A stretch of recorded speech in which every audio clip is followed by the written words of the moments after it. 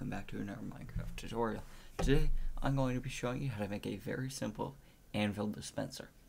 It's, well, not really used for much other than replacing anvils, but it's quite useful in survival if you don't want to make a new anvil every time, and instead want to waste a bunch of iron on making like four anvils at once. But other than that one flaw, it's, uh, it's pretty cool, and, well, I don't know, it's just kind of a gizmo I like to put in my house but as you can see, once the anvil breaks, it will be automatically detected and it will drop a new one in its place. You don't want to make the tower too tall though, because it will break the anvils.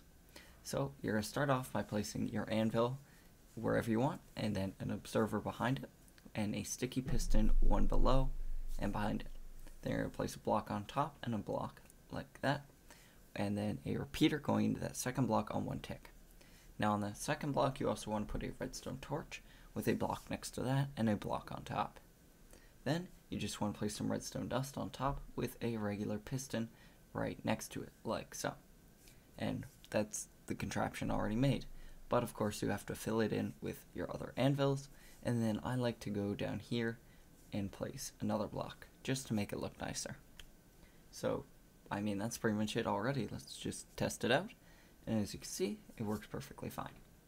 So as you as you once again saw there, if the anvil falls too far, I think it's like four or five blocks, then it will break or it will get damaged.